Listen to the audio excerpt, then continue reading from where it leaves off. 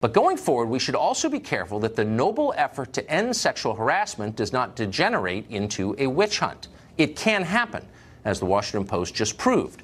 So, with that in mind, two things to remember. First, anonymous accusations always lead to abuses.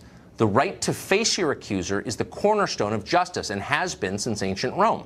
That's why it's enshrined in the Sixth Amendment to the Constitution. It's why we ban star chambers. We don't allow people to accuse others of armed robbery or murder from behind the shield of anonymity. Why do media outlets allow it in cases of sexual harassment?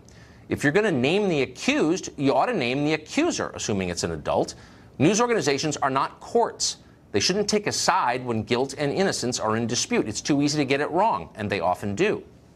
Second, not everyone accused of a sex offense is guilty. Not every accuser is telling the truth. I learned this the hard way a number of years ago when I was accused of felony rape by a woman I'd literally never even seen. She was a certified public accountant in Indiana, an upstanding member of her community, and also apparently delusional. Her claims were grotesque, but they were highly specific. The assault, she said, took place in the back room of a restaurant in Louisville on a specific day at around 10:30 p.m. She included loads of graphic and horrifying detail. It was stomach turning. And yet none of it, none of it was true. I spent the next two months trying to stay out of jail. I couldn't tell my children because I knew they'd be ashamed. I couldn't tell my employer because I knew I'd be fired immediately. I spoke only to lawyers and I paid them a fortune. I took a polygraph exam from the former head polygrapher at the FBI. I never stopped worrying that the charges would become public and destroy my life. Everyone accused of a sex offense did something wrong. Everybody knows that. And I knew that no one would believe otherwise. This isn't a defense of sexual harassment or misbehavior, obviously. It's just a reminder that real life is complicated, more complicated than sermonizing on Twitter. Sometimes the mob is wrong. Sometimes the innocent are crushed. That's always a tragedy, no matter what the charge is.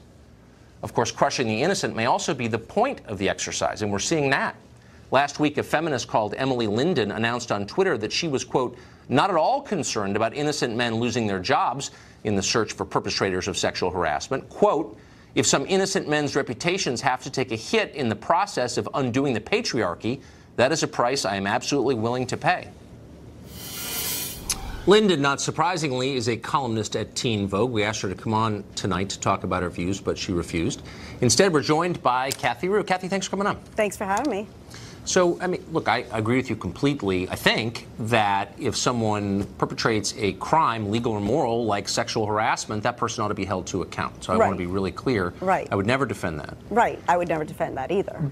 But the whole point of the exercise is to bring about justice, to make sure that the guilty pay and the innocent go free. Exactly. This woman seems to be, Sarah is saying, that it doesn't matter that all men are guilty by virtue of being men. That's the opposite of justice. That's collective punishment. You wouldn't be for that, would you? No, I mean, I'm not for social injustice, but what she's trying to say it, it, that it would be microscopic compared to what women have been through. You mentioned witch hunts. There are no warlock hunts. There were never any wizard hunts. I mean, women are the ones that are often persecuted. And the mobs that you were talking about, the mobs are usually the men that are burning innocent women at the stake. So women okay. are usually the ones that suffer much more than men. And I think that's what Emily okay, well, assuming, assuming that's, I mean, just for the sake of argument, I'll assume that's true. We're not teaching a history class here, but right. certainly people have been persecuted unfairly by mobs. That's for sure. For centuries, women sexes. have been persecuted. Okay, yes, sure, and and and men too in some cases. But but leaving the sex aside, if it was wrong then, why wouldn't you be every bit as horrified that it's going on now, or that it could potentially happen now? Why wouldn't you be horrified by what this woman wrote? Well, I, she she was defending it, saying that it would be um, it would be wrong, but microscopic in the sense that what happens to women and women's reputations is so much worse than what would happen to a man's reputation. Women's reputations are destroyed constantly on a daily basis, and so and facts men, don't. I mean, so facts don't really matter. So in other words, she's saying you should respect me when I make the case that facts don't really matter? Well, maybe she's, she's trying to say let's level the playing field, and men are finally feeling the pain that women have felt for a long time, for centuries. And that's good. Well, it's good when um, the sexes, when the genders are equal. And she's saying that maybe it's about time that they're so equal. So, in other words, you're saying, like, I think what happened to women is wrong, so I'm going to do it to men because it feels good. Why should I take you seriously as a person if that's the case you're well, making? Well, I, I, social injustice is not okay, but she's saying it happens to women all of the time. So men are finally getting a taste of it. Women are finally getting a little bit of power. So now if men are starting to feel a little bit of the pain, welcome to our club. Huh. So how would you feel if this standard, yeah. which is horrifying, yeah. were applied to crimes like, I don't know, murder or armed robbery? Like, I don't know if you did it, but you look exactly like someone who has done it. Therefore, if you're punished for it, like, you know, at least you now know how it feels. How well, would you feel about that? Well, it's, it's rare. Women rarely accuse men of sexual harassment. It's rare that in her article she was actually saying that in her tweets she was saying that it was rare that it actually happened. She doesn't know anything. What do you mean rare? Look, well, that's what I she mean, was saying. look, if, that's what no, she was here, here's what she doesn't know. If you can present the stats, like actual social science on that, right. but here's what we know is that people are flawed. And right. most people tell the truth, but not everybody does. And that's why we have things like due process and a justice system right. that tries to determine objectively who is guilty and who is innocent and punishes only the first category.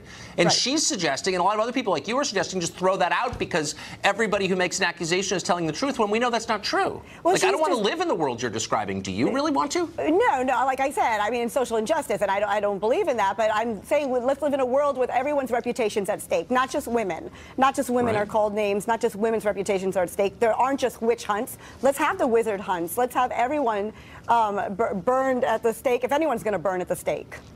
So I Wait, think that's I mean, philosophy. wouldn't it be better to treat people as individuals and yeah. assess the claims against people on an individual basis? Absolutely, and, but it's not happening. And like be, it's, it's not, not happening. happening. for women. No, women are the minority in this country, and we still are um, fighting for our equal rights. So men are still in power. You are still in power. So, but so you're suggesting that if women ever took power, whatever that means. I mean, I don't buy the premise of what you just said, by the way. But right. let's just say that if a group that felt itself to be oppressed took power, that it would oppress the group beneath it just as kind of payback is fair? Is that what you're saying? Well, no, that group is not in power. So what I'm saying is that if that group were to be in power, it would probably be a better place because we all know that women are less violent than men.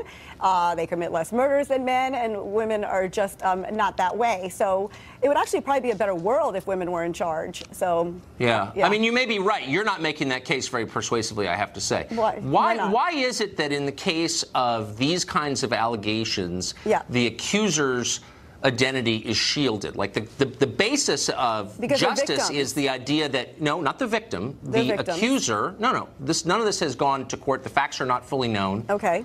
Okay, the victim and the accuser are two different things. Once you've right. proven you've been harmed, you're the victim. Before then, you're the accuser. Right. Why would we jettison thousands of years of tradition, of jurisprudence, right. and hide the identity of the accuser? How would you feel if you were accused of something and you didn't know who was accusing you? Right. Well, but we're seeing there are many men that are guilty right now. So sure, yeah, there are. Yeah, there are many men that are guilty, and um, you you weren't one of them, but many men are guilty. So these women are speaking up, and okay. they're having a voice now. So it's it's wonderful that they have a voice and they feel empowered to do a so. Vo- a voice, but no name or face. So in other words, let me just ask you again: How would you? And by the way, I think most people accused of these kinds of crimes are guilty. Okay, but what grates proven. on my yes, conscience yes, is that some of them some of them aren't.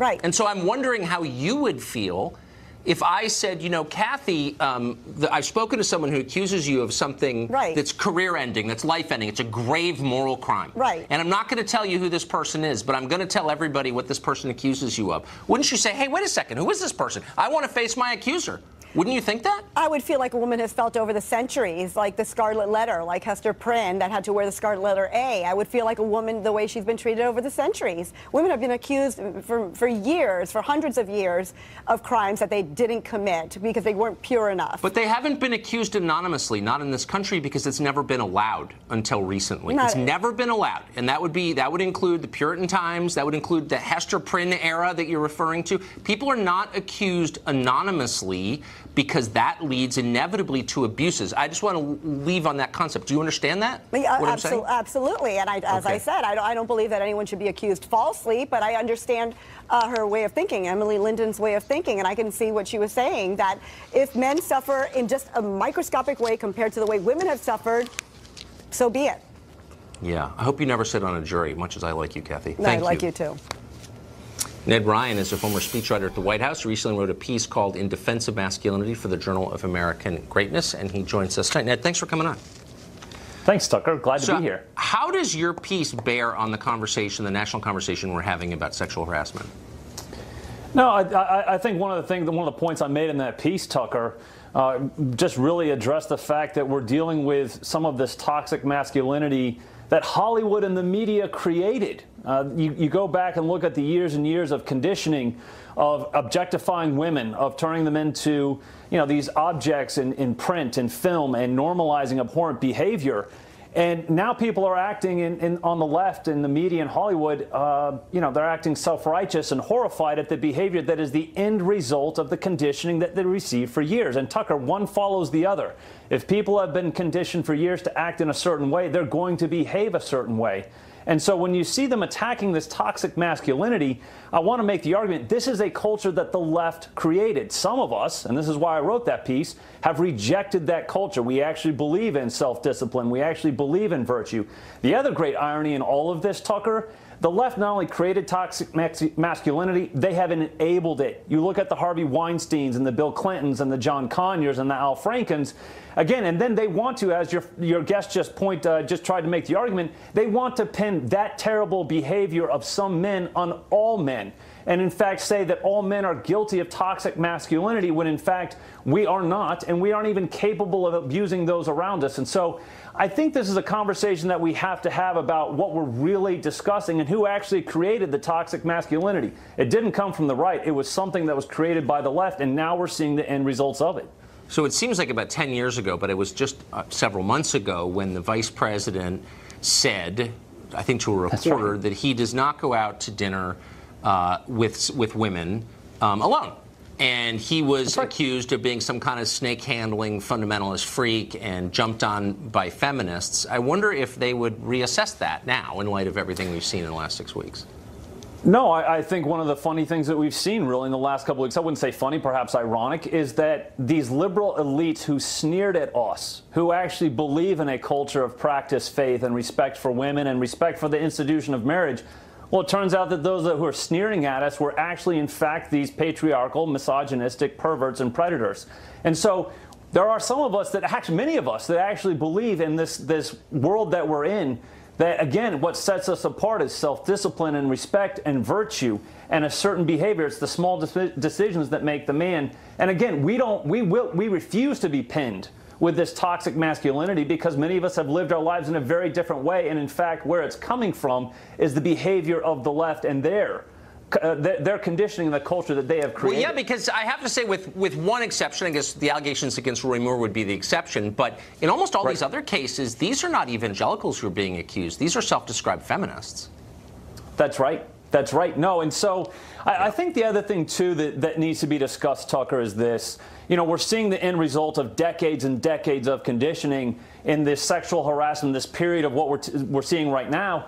I think the other thing that concerns me a little bit, as, as your, your former guest was trying, trying to get to, I think, I am concerned about the social experimentation that is taking place and trying to remove the manliness out of our boys. Well, and course. you know, when you see some of these things that are taking place in our education system, it's of deep concern to me. Listen, I'm all for women, for all the breakthrough they've made, for girl power, all of those great things. But I think the pendulum has swung too far the other well, way. Of course, Be- I think the boys women, are being left behind of being for women does not mean being against men, of course. Uh, well, see, and I think that's where the left has gone right. wrong. No, I, I, I, I think they've been more. so far.